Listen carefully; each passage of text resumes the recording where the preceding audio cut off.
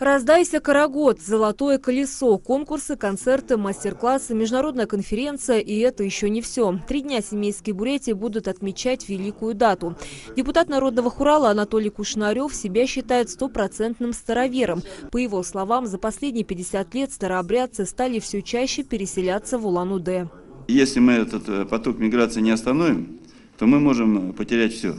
Поэтому вот задача стоит. Это не только поднять дух семейских, но и вот показать перспективы развития экономики и, соответственно, параллельно с этим культуры, традиции, сохранение традиций, культуры и, и прочего. У нас сейчас очень остро стоит вопрос значит, воспитания подрастающего поколения в духе традиций старообрядчества, так как старообрядчество у нас всегда было духовно-нравственно крепким,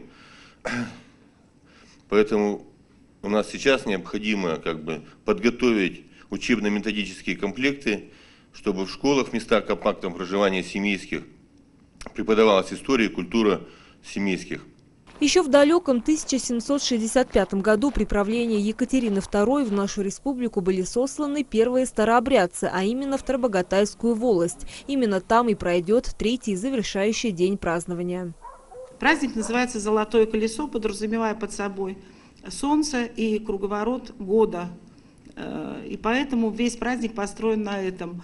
Э, гостей вначале встретят на улице, где будут предложены различные тематические выставки сельских поселений, как живут, чем живут старообрядцы и почему они живут на территории Э, Бурятии не уехали до сей поры. Так, 7 августа в Улан-Удэ пройдет международная научно-практическая конференция и этнофорум «Всестарообрядческий съезд». Затем 8 августа в этнографическом музее весь день будет проходить фестиваль «Раздайся, Карагод».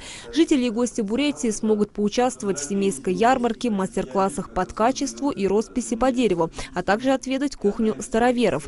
И, наконец, 9 числа в селе Тарбагатай состоится фестиваль-конкурс песни, танцев, старообрядческого костюма и праздник «Золотое колесо». Наталья Домбаева, Вячеслав Батоев, Первая альтернативная.